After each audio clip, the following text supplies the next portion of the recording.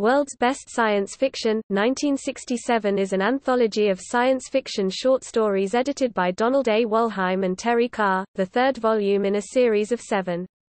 It was first published in paperback by Ace Books in 1967.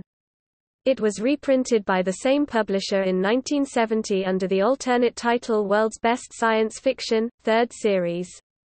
The book collects 12 novellas, novelettes and short stories by various science fiction authors, with an introduction by the editors. The stories were previously published in 1966 in the magazines The Magazine of Fantasy and Science Fiction, Analog Science Fiction to Science Fact, New Worlds, IF, Rogue, and Analog Science Fact to Science Fiction.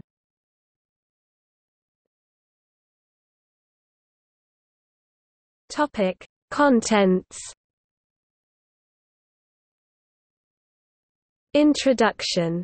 Donald A. Wollheim and Terry Carr. We Can Remember It for You Wholesale. Philip K. Dick. Light of Other Days. Bob Shaw. The Keys to December. Roger Zelazny. 900 Grandmothers. R. A. Lafferty. Bircher. A. A. Walder.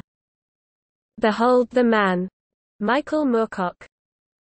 Boom Avram Davidson. Day Million. Frederik Pohl. The Wings of a Bat. Paul Ash. The Man from When. Dannie Plachta. Amen and Out. Brian W. Aldiss. For a Breath I Tarry.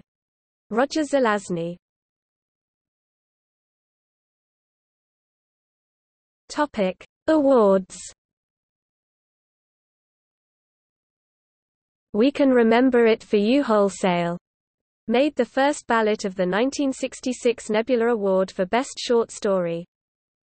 Light of Other Days was nominated for the 1966 Nebula Award for Best Short Story and the 1967 Hugo Award for Best Short Story.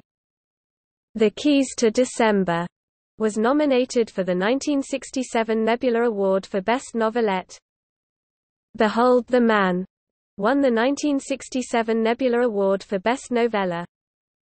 For a Breath I Tarry made the first ballot of the 1966 Nebula Award for Best Novelette and was nominated for the 1967 Hugo Award for Best Novelette.